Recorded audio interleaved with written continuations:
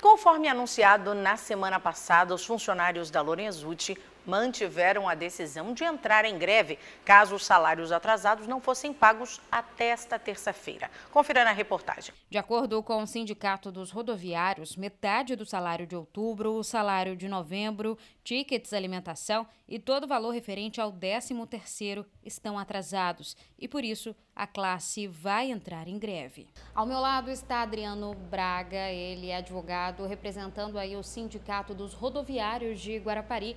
Adriano Entra mesmo em greve a partir desta quarta-feira. Isso, a partir das zero horas agora do dia 21, né? É, tendo em vista os, os vários salários atrasados, que são dois salários atrasados, dois tickets de alimentação e o 13 terceiro também, que não foi realizado o pagamento, a categoria, após a publicação de edital de todos os trâmites legais, vai entrar em greve a partir de amanhã, às zero horas. Então, a partir de amanhã, só rodam 30% aí da frota, né?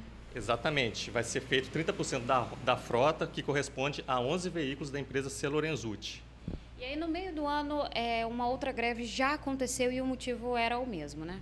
Isso. A categoria dos rodoviários né, de Guarapari já vem enfrentando esse problema desde o ano passado, na verdade. E esse ano já teve uma greve que se arrastou aí por quatro, cinco meses. Foi solucionado o problema naquela, naquele momento mas chegou novamente nessa situação de salários atrasados e ticket de alimentação também, e até o 13 terceiro. E aí vocês já protocolaram documentos na Câmara, na Prefeitura, também avisaram a empresa, e aí vocês disseram para mim que só voltam realmente mediante ao pagamento de todo o débito, né? Isso, isso. No dia 12 deste mês a gente publicou o edital, né? Anexamos também cartazes nos ônibus, a população deve ter acompanhado. Comunicamos à Prefeitura, à Câmara Municipal de Guarapari e a empresa C. Lorenzucci, que não deram nenhum retorno, nenhum dos três órgãos deram retorno para a gente.